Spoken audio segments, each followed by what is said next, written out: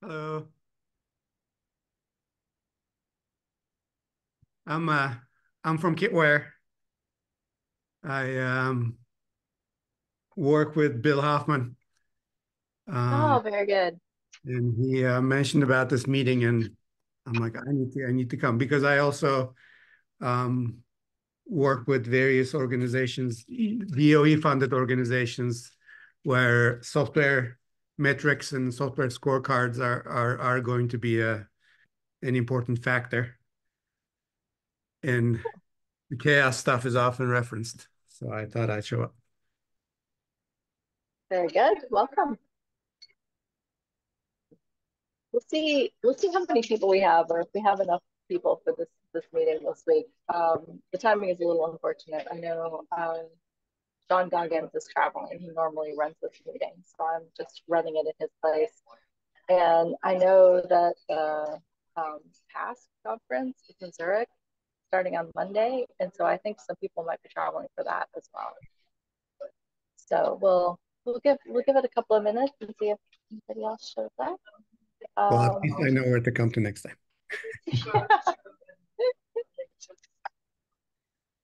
Which so organization what, uh, are you from, Dawn? Oh yeah, sorry. So I I'm the director of data science with the CHAOSS Project. Okay. So I work uh, primarily primarily on CHAOSS. My uh, oh, hey Bill.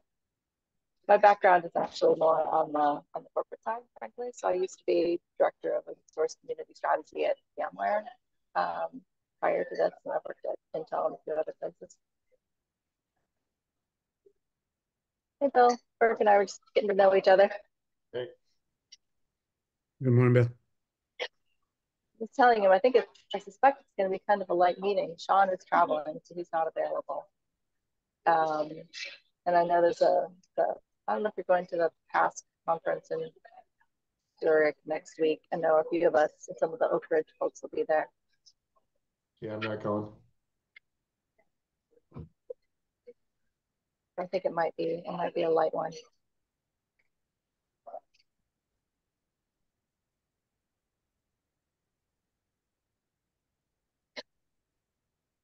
So who's normally on this meeting? I didn't see the uh yes, Bill. I'm uh, just gonna send you the invite the list. Yeah, if you can it, maybe you can if you can add me also to the invite, then I would also see the list. Let me uh yeah, we don't really do the invites that way. Um, oh, okay.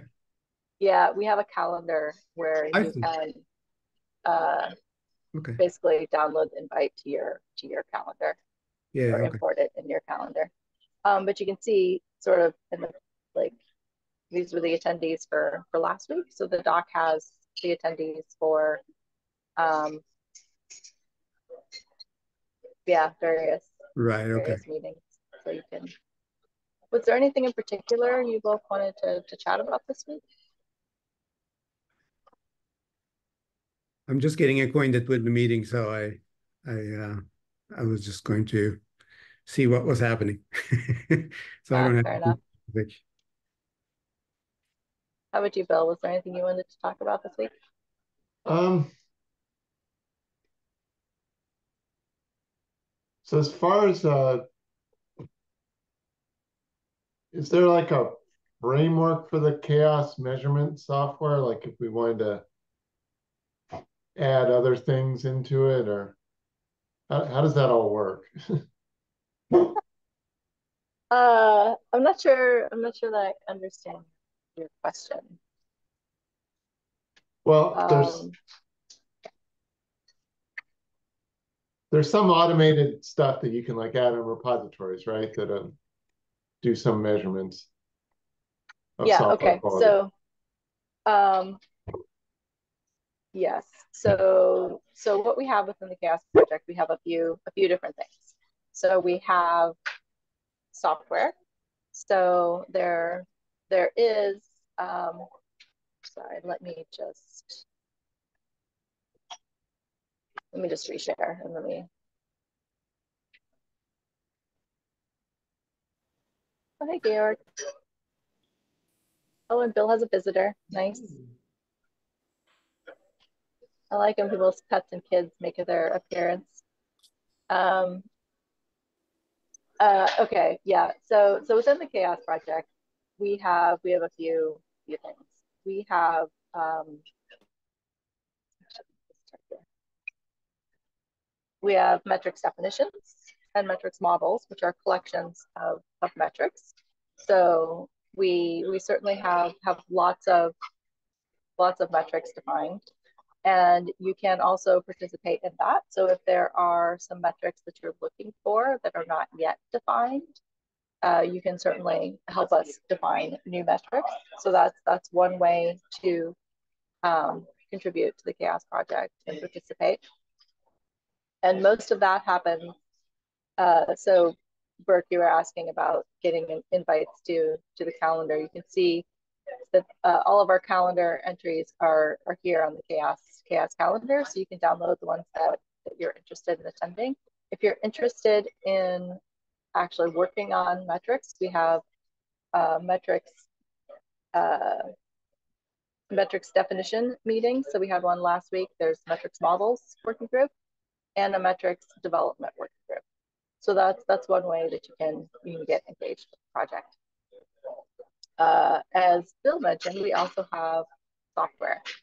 So we have primarily uh, two pieces of software within the CHAOSS project. There's the Augur software and uh, Grimoire Lab.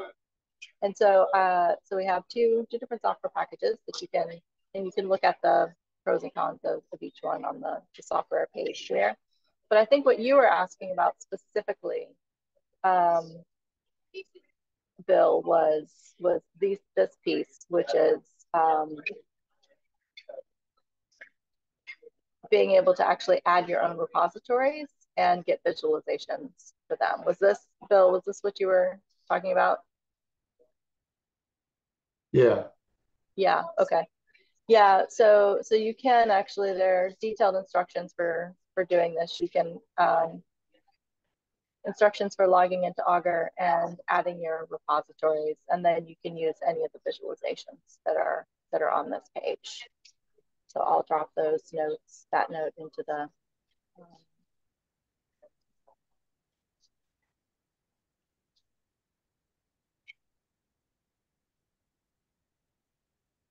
we uh I don't know, Georg, if you want to talk a little bit about uh how people might use Grimoire Lab. Like I, I, I guess Cauldron, people could add their own repositories there. I'm not sure if that's still something that that you're working on. Dawn, Georg, if you're talking, you're Dawn, was that, Georg. Sorry, what, Addie? w- was that for me? I'm sorry, I just got my audio to work. No, Georg. Um, Okay, sorry. yeah, no worries. I don't know if Georg here, but he's on mute. Um,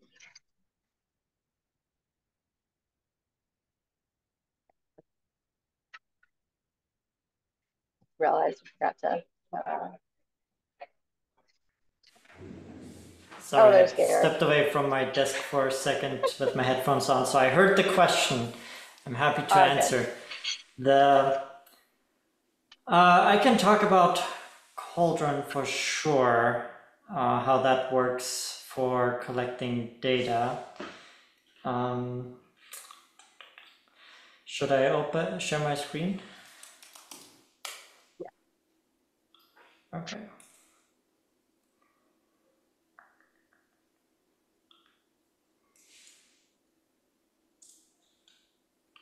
I'm putting the link in the chat.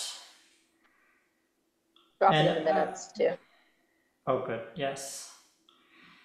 Uh, I also want to give a disclaimer that Cauldron was an attempt to come up with a SaaS solution for offering community metrics, and we have not figured out how to make it profitable. And so our focus has shifted away from it. So we have we're not actively extending the platform anymore. So what you get is what you get. Uh, I am already logged in, so let me log out. When you come here, the workflow is that you go to create a new report at the top right. I assume you see my screen. Yep. Perfect. So when you create a new report, um, and you give it a report name, let's say we want to analyze the CHAOSS project, we can add a variety of different data sources. And this, this is one of the powerful things of Cauldron, that you're not limited to only looking at one type of data. In this case, CHAOSS is in GitHub. And so we can add GitHub. You need to authorize GitHub. And so you need to provide your username. Login I already did this, so it just goes through. And it looks like I already have a report called CHAOSS, so let's call it 2024 05 30 because that'll be unique. And then here I can add either I go to GitHub, go to the CHAOSS project, and I take the URL of the entire project, or I can go and open a repository and drop in that link. And so for CHAOSS, I'll, I want all repositories. And I add that entire um, organization. And it'll go and add all the repositories underneath it. I could add more. So I could go back here and add another GitHub if it was located somewhere else. I don't want to do that. So I will just go and create report for the CHAOSS organization. And now Cauldron goes out through this, through GitHub, looks at the list of repositories and starts collecting all of the data. One of the awesome things about Cauldron is that the data, once it's loaded, it doesn't have to collect it again. So if someone else already analyzed the CHAOSS project, that data will be in here. And I'm pretty sure I have looked at CHAOSS before, so the data should be here in a moment without having to wait for all the data collection to complete. So if you created a report and then someone else did the same community, they will benefit from the data being already collected for your report. And the same is true for Augur. It, it works kind of the same way since it's a shared uh, software as a service. Yeah. The being able to share data has some implications for um, for data about contributors because when you take Grimoire Lab, the software this is built on, one of the features it has is managing affiliations of contributors. So being able to track what organization someone belongs to so that we can see how organizations through their students, faculty, employees, and so on are active in an open source project. That kind of information, because it's personal identifiable information, we cannot share across different users. And so in Cauldron, you would not have that data. You would have to use Grimoire Lab uh, directly to be able to look at organizations. So Bill, did this answer your question? Yeah, yeah, this was good. Okay. Cool. So you said that it's not actively being developed because you couldn't find a business model for it? That is correct. So Cauldron is not a CHAOSS project. It's um, a Bitergia project built on top of Grimoire Lab, which is a CHAOSS project. Okay, Does that make sense?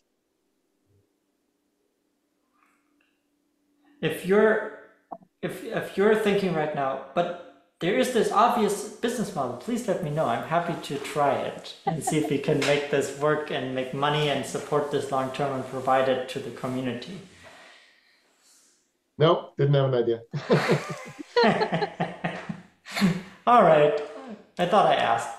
Yeah, I was just Alright, curious cool. that, that was, yeah, for- well, I thought it was part of the Linux Foundation, but I guess if it's something separate, that's why it needs a business model, but. Yeah, it's, Yeah. it's based on, based on a CHAOSS project.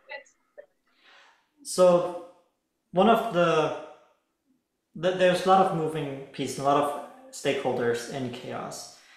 The the CHAOSS project at the Linux Foundation is where we all come together as an industry and open source and maintainers and foundations to standardize metrics and build software.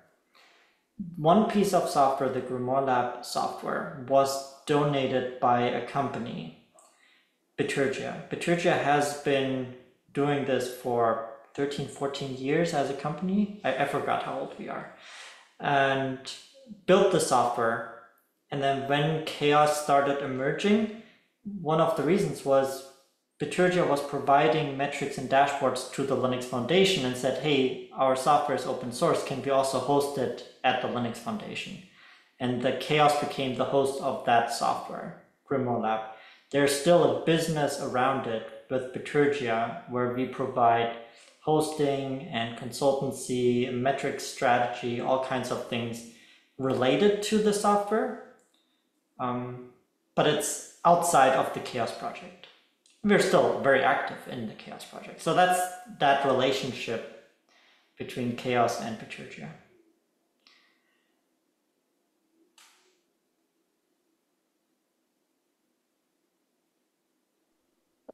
Thanks, Garrick.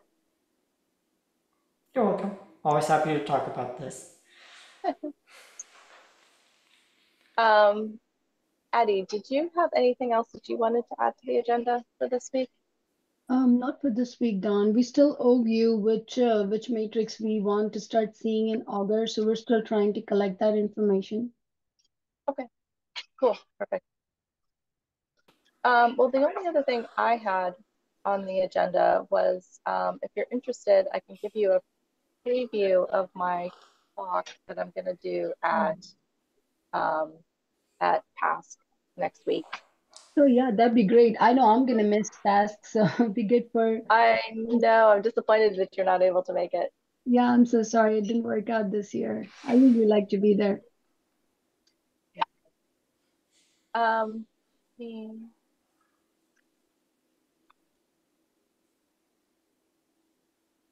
So let me share my screen.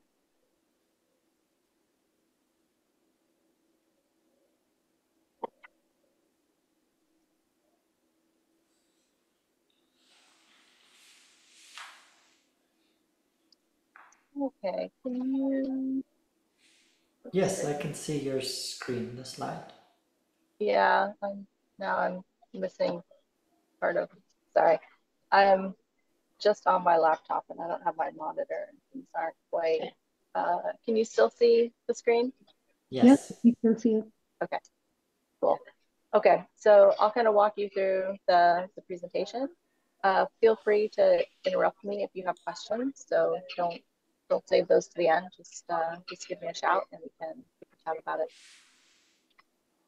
Um, I usually start by thanking the, the foundations that provide support for the CHAOSS Project. Um, I'll I'll talk a little bit about about me. Um, not much. I've been in the tech industry for over 20 years, doing mostly open source. Um, and I spend a lot of time thinking about how people can use metrics to understand how to measure and make improvements to open source project health and sustainability.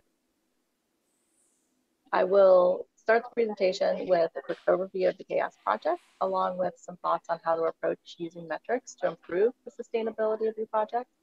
And we'll look at it across a few categories, responsiveness, contributor sustainability, organizational participation, and security. And then I'll talk about some additional considerations, leave you with just a few final thoughts. So uh, I think you're all familiar with the CHAOSS project, so I'm just gonna skip this slide. So, so people love comprehensive lists and data, especially within the scientific communities. But when it comes to metrics, that, that approach can actually sometimes backfire on people because one of the biggest challenges people have with metrics for open source projects where all of the data is available to gather and analyze is that it can be overwhelming. And we only have so many hours in the day, so we just we can't focus on everything.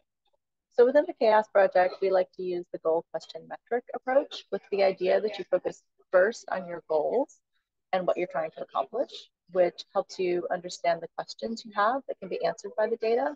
And only then do you move on to the specific metrics to answer those questions. Because no two open source projects are exactly the same, this also helps you come up with metrics that are most appropriate for the projects that you want to understand more about.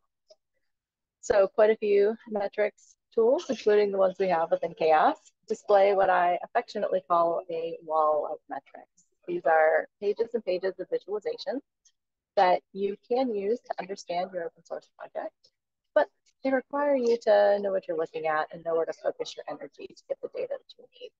And we have dozens and dozens of metrics, and all of them can be super useful. But which ones you focus on depend on what you're trying to achieve or understand, which is why starting with your goals is so important.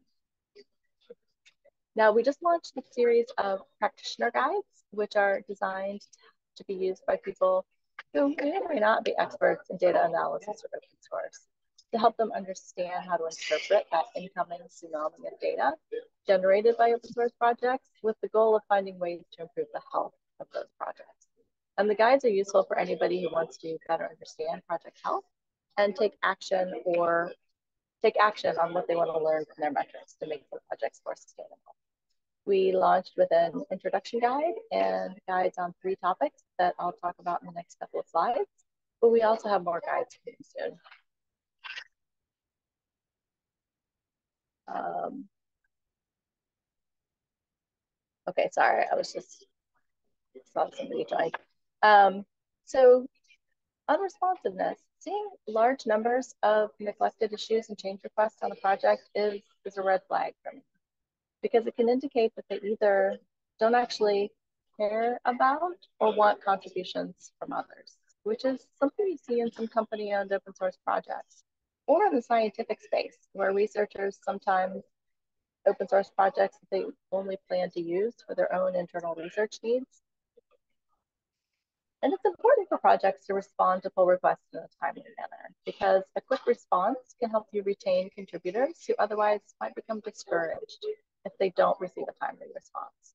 So timely, thoughtful, and kind responses to contributors indicate that you appreciate their work. Being responsive to the contributions of other people helps grow the community and improve contributor sustainability, which I'll talk about in a minute. But while, quick responses are important, it's also important to keep up with change requests, so pull requests or merge requests, and resolve them in a timely manner.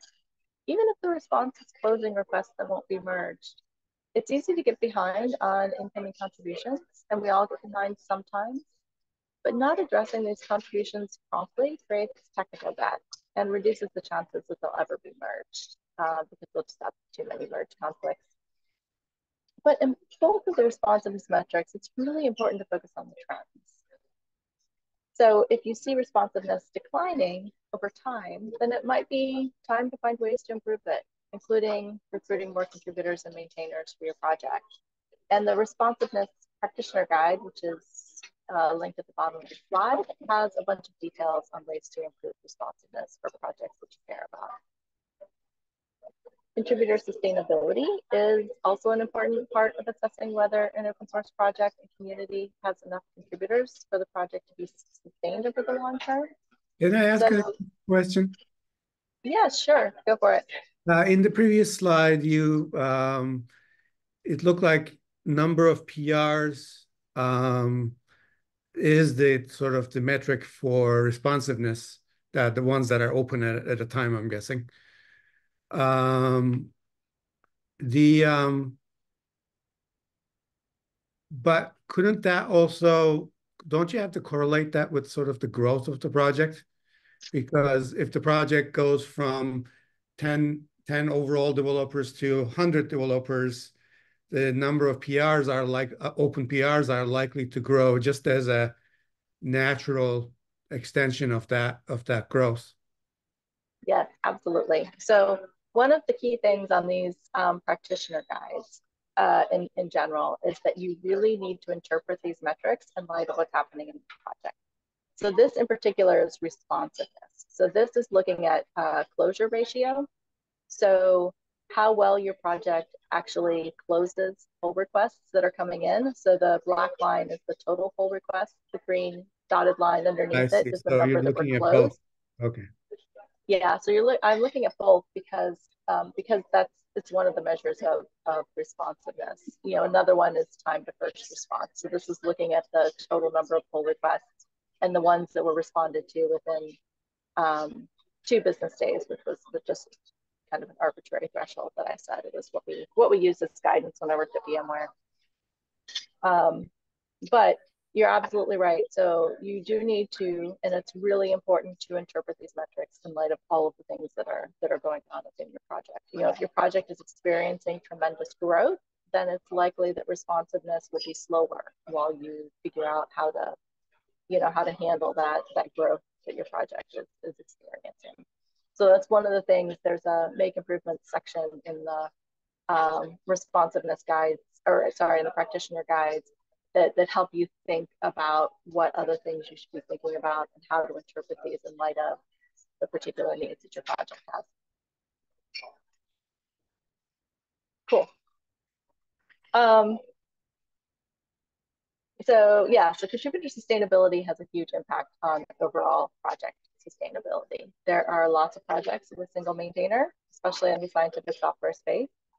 Uh, many projects really struggle to find enough people to actively participate in their projects and continue to maintain them over the long term. And the reality is that there are a lot of open source projects and just not enough contributors. So maintainers in general are in desperate need for help across the various types of contributions needed to have a successful and sustainable open source project. And if there aren't enough contributors to sustain a project, this increases the risks that the project will fail which creates a variety of significant challenges for users and other projects that depend on it. I recommend measuring contributor sustainability because there are a couple of things to tell you. First, how big of an issue is your current contributor situation? If it's like the one on this slide, you really should focus on getting a few more people who can contribute and eventually be moved into leadership roles like maintainer. You might also find that there are more people contributing more than you realize, which is the other reason that this is a good metric. It can help you think about who you can encourage to contribute more and maybe find someone who can move into a maintainer role. And reaching out to someone and acknowledging their work while encouraging them to do more can really help with growing your contributor base. Now the catch here, uh, and with many metrics, is that we just don't we don't just want to think about the people who are making commits, like the example on this graph it's a good start, but you should also be thinking about how you can move people into leadership positions to responsible, be responsible for things that might not show up in your existing data, like documentation, community management, marketing, and other, other things that take up maintainers' valuable time. And so the practitioner guide linked on this slide also has um, suggestions for how to improve contributor sustainability. Another area is organizational participation. So we don't always spend enough time thinking about how organizational participation impacts the sustainability of open source projects. So you should also look at organizational diversity as part of the health and risk for open source projects. If all or most of the contributions are from people at a single company, what happens when that company has a shift in strategy or gets acquired or runs out of money, goes out of business? Would the project be able to continue if the company pulled all of its employees out of the project? These single vendor open source projects might not seem risky, especially when they're backed by a big company, but they can really quickly become unviable after a licensing change or when everyone stops working on that project. And this is also a risk for scientific software and not just for the projects driven out of companies. Individual researchers, research groups, other collections of people driving these projects can run out of funding, right? Or or change their research focus, leading to abandoned projects that other people were using. the biggest challenge with identifying trends for organizations and open source projects is that the organizational affiliation data is almost never accurate enough to use without some manual cleanup. So the example here is relatively clean compared to a lot of others, but you can still see that about 20% of the contributors aren't matched to organizations. And if most of the work is being done by people at a single organization, like in this example, the project might be riskier to use and harder to contribute to than a project with contributions that are spread out over many organizations with no single organization being dominant. If you work for that dominant organization, you might want to focus on getting more contributors from some other organ organizations by reaching out to people you know who are using the project and might be interested in contributing. And again, this is described in more detail in that practitioner guide linked on the bottom of the slide. We don't actually have a practitioner guide for security yet, uh, but it's on our list to develop one, and it's the one that I'm working on next. And it's important to think about from the standpoint of project sustainability. One thing I look for when assessing sustainability is whether they make regular releases and quickly patch security vulnerabilities. You can also look at change requests as part of this assessment to see if they're making changes to fix vulnerabilities and other, make other improvements. And in addition to just looking at the project itself, it's also important to look at the dependencies. And the libyear metric can help you see whether the project also keeps their dependencies up to date since outdated dependencies can be a significant security risk. People tend not to trust projects with unpatched security vulnerabilities and are more likely to adopt projects that they trust to be more secure. In short, projects that take a proactive approach to addressing security issues and releasing fixes are more sustainable over the long term. It's important to look at the frequency of releases uh, including all the releases, even the like the teeny tiny point releases. It's because it's critical that security updates and yeah, fixes land in a release in a timely manner.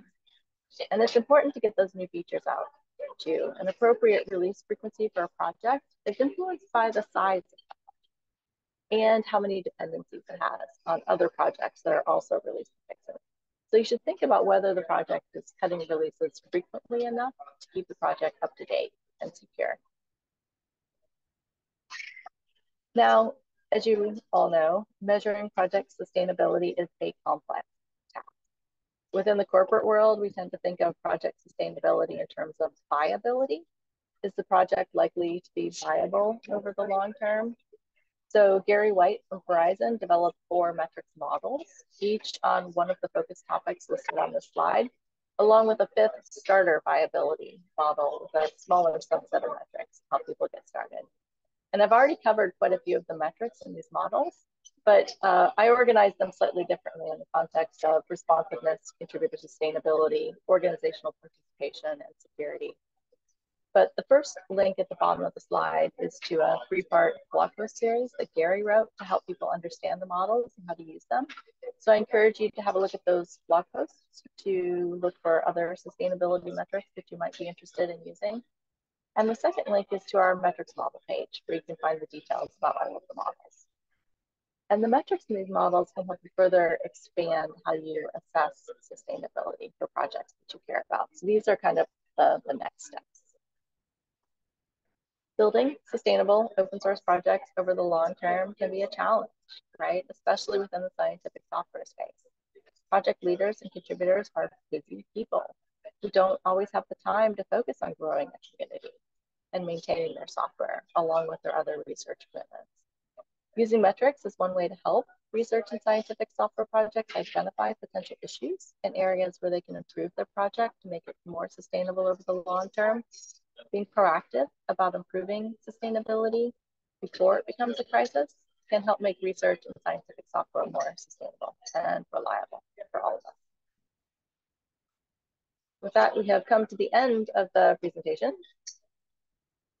Are there any any questions about any of this?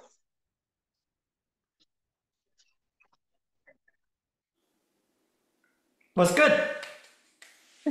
Thanks, Nice presentation. Thanks, Dawn. Can you share? Uh, can you share the slides by any chance? Yes, I will. What? Uh, I have to. I have to upload them somewhere. I'll share them. Yeah, this is a meta question, not about the presentation. The guide still has bus factor listed, and I saw somewhere that had decided, or I don't know how far we are with renaming it yet. We, we have almost finished renaming it.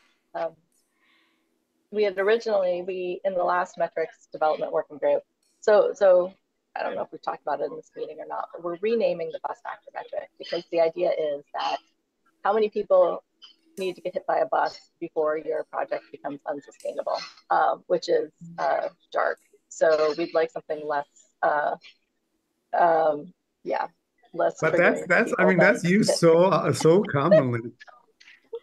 Yeah, um, we just want something a little less, uh, yeah, a little less dark, a little less. I've heard uh, like win the lottery.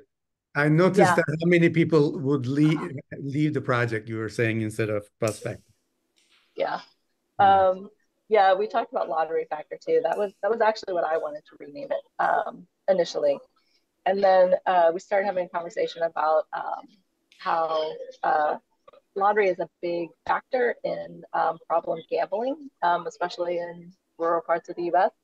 So, so we decided not to go with that one. That's that's what I've been calling this for for years, actually. Well, it, I, So and I I think- think, and I think it's inaccurate. If I win the lottery, I'm, I, I, you know, I can contribute whatever the heck I want as opposed to whatever somebody pays me to do. So I might actually contribute more. Yes, this is the other problem with that that analogy because I have had so many maintainers. They're like, no, no, no, I get to work more on my open source project. um, so I think we've decided to stop being clever and just make it descriptive like the rest of the CHAOSS metrics. And so we had originally just called it contributor risk. So that was what we landed on in the last metrics development uh, working group. Um, there was a concern that that is just a little bit too generic, and someone suggested um, contributor abandonment risk instead, which I actually think is is probably a little bit better because it does get at that abandonment um, piece of it, and contributor risk could mean more than just what we've traditionally called the bus factor. So I'm actually now leaning towards that, and so we're going to talk about it next week in the metrics development working group meeting at this point, uh, I've been working on renaming this metric for like three months, and I am so tired of naming things. Um, so I'm ready to land on anything at this point. Um, but but yes, Georg, I've still I've still got it as the bus factor until we officially officially rename it and and, and do the pull request to make the changes, which is going to be um, which is going to be a significant chunk of work, right? Because it is mentioned in a bunch of places across the CHAOSS project. So yeah. Contributor departure. Oh, naming is hard. Naming is so hard. We should invent a new language that no one will understand it, but it makes perfect sense. Yeah, exactly.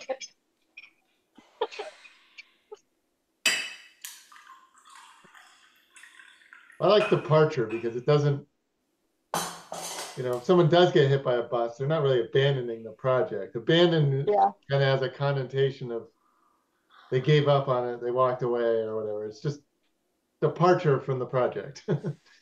yeah, that's a really good point. Separation, you know, some, something that doesn't imply something bad happened to them or something great happened to them. It's just they're not there anymore. Then what Yeah. happens? For whatever reason. hmm Okay, I'm gonna. I, I might. I might like that better. I think right now I'm so tired of renaming that any suggestion people come up with, I'm like, yes, let's let's do it. Um, but I actually really do like the departure, departure better than abandonment because you're right. It's not always. It's not always abandonment. Yeah, that has Okay. sort of a negative connotation, like. Yeah. Child Okay, I'm abandonment gonna- is what comes to my mind. All right, departure. I'm gonna add that to the to the list to talk about next week.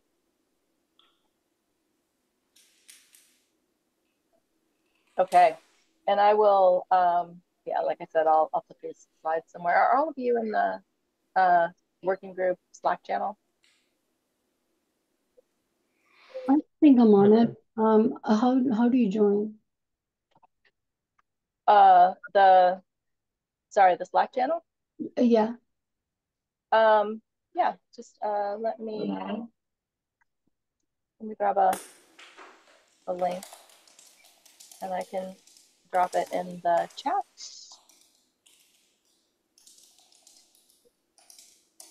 Okay, so that should take you to join the CHAOSS Slack, and then there's a, a Slack channel called um, WG-science-research-OSF, which I thought I thought you were in the. the- Yeah, I'm on this one. Okay, I'm sorry, I misunderstood. I thought there was a workspace for this. Ah, no, no, no. Uh, Slack. Sorry, a Slack workspace. That's what the. Yeah, sorry, it's a Slack channel within the CHAOSS workspace. Gotcha, thank you. I was thinking it was, there was another workspace that I'm missing on. No, no, it's just the, the Slack Slack channel. Um, because I can I can just upload those the slides there, Sure, yeah, and, sounds I'll- and then can all have access to the links and everything. Yeah, if you could put the link in the, the agenda document, that'd be good. Once you Yeah, have somewhere do you can that. link to. Yeah, we'll do. Thank you. Um. Yeah, thanks. Any uh anything else you want to talk about?